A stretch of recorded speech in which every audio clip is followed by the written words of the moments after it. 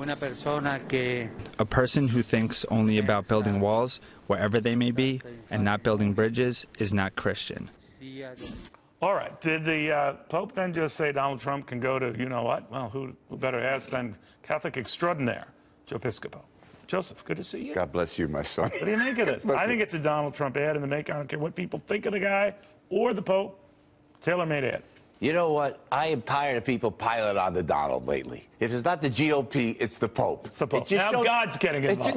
just- God- come on, we leave Donald alone. He's got the people behind him. And again, I haven't supported anybody formally, you know. Really? But you got to, Donald's saying what a lot of people, have, and I only know from my radio audience, Neil, they call, they love Donald. And for the Pope to say this, and for the, listen, I'm a Catholic, a die-hard Catholic. I mean, I am a devout Catholic. I go to Really? church every day. I stop into a church after we talk, Neil Cavuto. I go to a I don't church believe that. down Walls. I do. I, I don't believe I believe in the saints. Okay. I believe in the power of the saints. You can't find something called St. Anthony. He's right there for you. I Right. promise you it's like that. Right. So, but you know what? For the Pope to say, he gets on the climate change thing.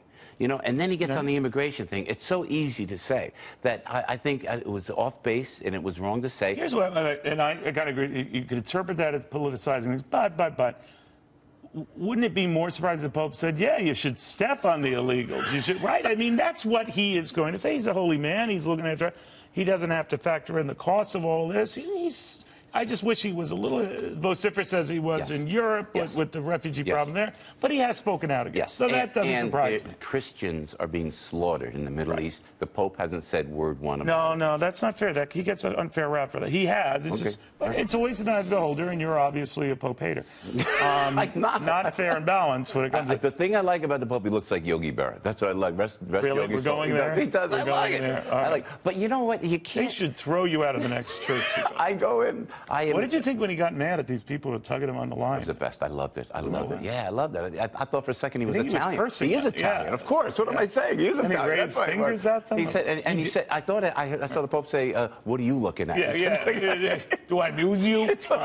So for Donald Trump, this I, it's going to help, isn't it? yeah, Yeah, clearly. I think you're right. Clearly help. I'd be remiss